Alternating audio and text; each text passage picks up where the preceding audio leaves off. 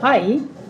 Now we're going to talk about a word that is mm, kind of special because you only use it to uh, to uh, to describe the feeling of not being able to see very clearly. Okay, and this happens actually not so often, but the word is useful. Okay, so let's take a look at this word, and it's called blurred.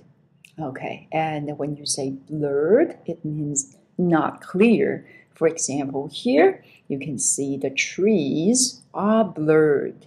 Okay, because uh, the driver might be driving very, very fast. Okay, and that's why the trees are blurred. Okay, and here it's not about driving fast. Here it's a photography skill, and you try to make what in the foreground, we say the foreground, or in Chinese we say 前景.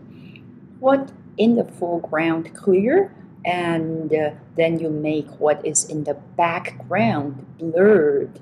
Okay, and this creates a kind of atmosphere.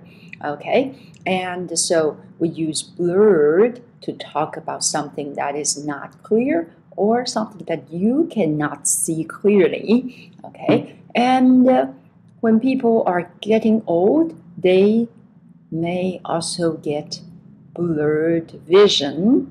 Okay, and the blurred vision or vision is their eyesight. Okay, and blurred vision actually means that they cannot see very clearly. And in that case, they may need some help or they may need, uh, nowadays, they can uh, have a surgery on their eyes. And of course, that has to be very, very carefully done. Okay, so, so much for blurred. Okay, and of course, you should be able to know that the verb is blur, and to blur is to make something not clear.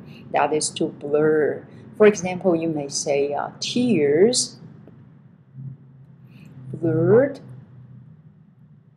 my vision. And in that case, here you use blur as a verb. Okay, so I don't want to talk too much and uh, and then uh, I may run the risk of blurring your English understanding, okay, or your understanding of this word, okay? So keep your eyesight clear. Don't have a blurred vision of what you are learning. Okay, so see you. Bye.